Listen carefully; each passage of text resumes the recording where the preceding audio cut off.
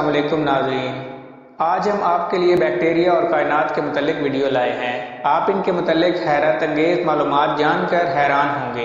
अगर आप ये मालूम हासिल करना चाहते हैं तो हमारे साथ जुड़े रहिए। लेकिन वीडियो शुरू करने से पहले, अगर आपने हमारे चैनल को सब्सक्राइब नहीं किया, प्लीज़ हमारे चैनल को सब्सक्राइब करें, वीडियो को लाइक करें, शेयर करें। चलिए वीडियो शुरू करते हैं।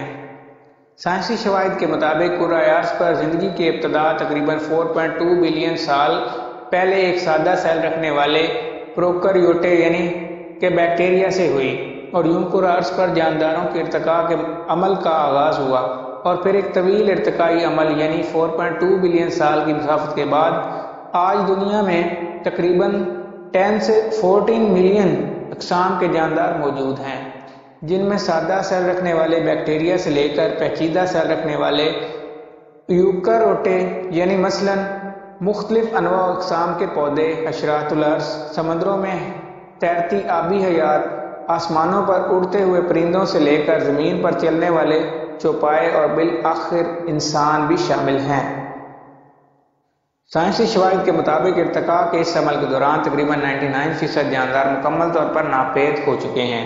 दिलचस्प बात यह है कि बैक्टीरिया, जिनसे पूरा अर्ज़ पर ज़िंदगी की इब्तदा हुई, आज भी मज़बूत तरीन सलाहियतों के साथ सख्त तरीन माहौल में भी मौजूद हैं।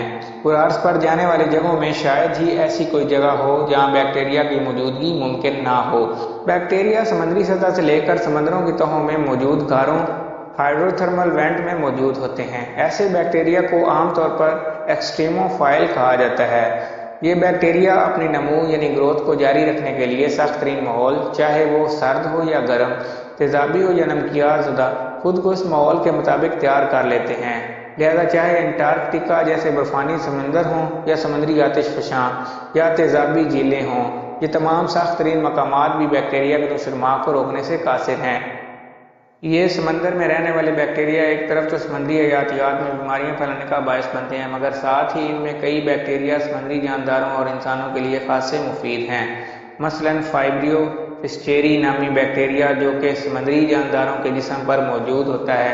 एक ख़ास किस्म का एंजाइम लूसीफिरेस बनाता है, जो कि अंधेरे में जुगनू की तरह रोशनी पैदा करता है, और यही वजह है कि इस बैक्टीरिया को बायोलोमिसट बैक्टीरिया भी कहा जाता है। बैक्टीरिया के इस एंजाइम को कॉस्मेटिक्स सनत में चेहरे को चमकदार बनाने के लिए इस्तेमाल किया जाता है। ना सिर्फ़ ये, बल्कि दीगर दूसरे बैक्टीरिया और उनके एंजाइम को दवाइयों की तैयारी और जीनियाती रिसर्च में भी इस्तेमाल किया जाता है। साइंसी मुशाहदात के मुताबिक अर्ज़ पर मौजूद सख्त से सख्त माहौल भी बैक्टीरिया अपने नमू को जारी रखते हैं। यहाँ तक कि गजाई किल्लत के दौरान बैक्टीरिया खुद को स्पोर शक्ल में तब्दील कर लेते हैं और मुआफ़ हालात में अपनी नमू फिर से शुरू कर देते हैं।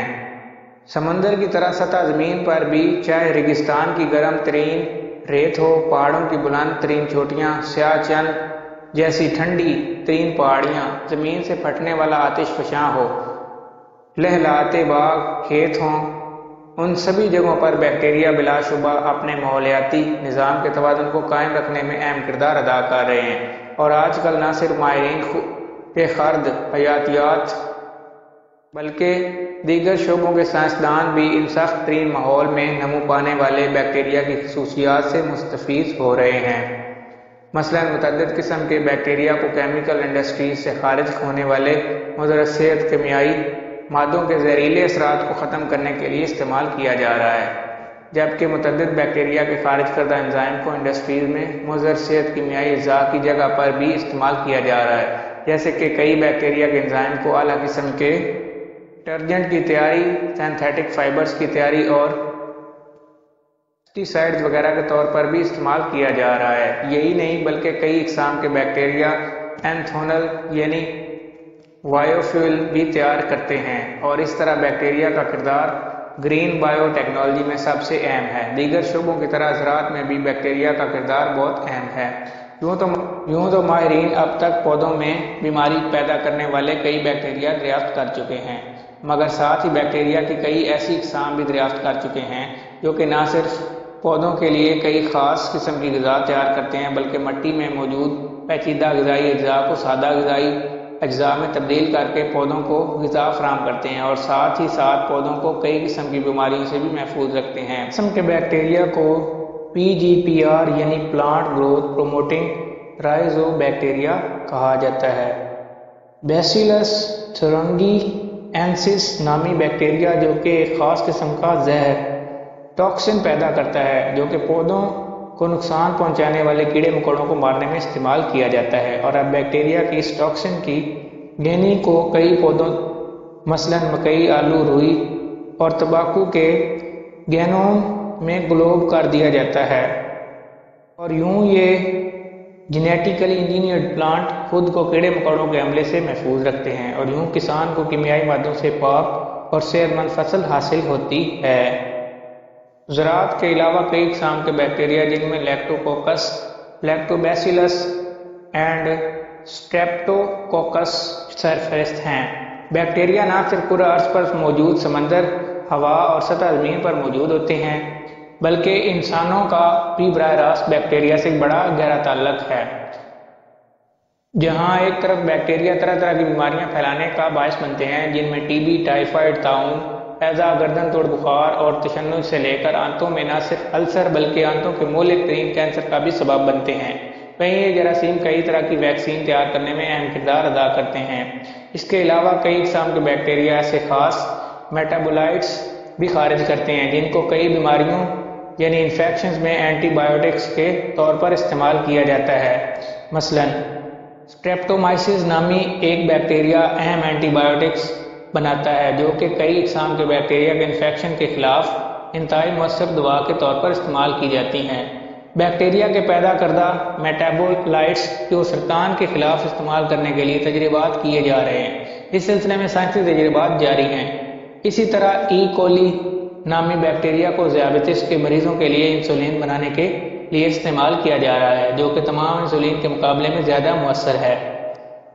बैक्टीरिया इंसानी जिसम के कई अज़ा खसूस जल्द मुँह, नाक, कान, मेदे की नाली में गैर मुजर बैक्टीरिया यानी नॉर्मल फ्लोर के तौर पर मौजूद होते हैं। ये नॉर्मल फ्लोर इंसान के पैदा होते ही इसके जिसम के मुख्तलिफ़ हिस्सों में रहाश पजीर होना शुरू कर देते हैं और एक तरह से जिसम की कुत मुदाफ़त बढ़ाने में मददगार साबित होते हैं। मसलन ये नॉर्मल फ्लोर अपनी जगह किसी भी बैरूनी और ख़तरनाक जरासीम को देने से गुरेज करते हैं और इन बैरूनी बैक्टीरिया को ख़त्म करने में अहम किरदार अदा करते हैं। यूँ इंसानी जिसम बगैर किसी दवा के ख़तरनाक बीमारियों से महफूज हो जाता है।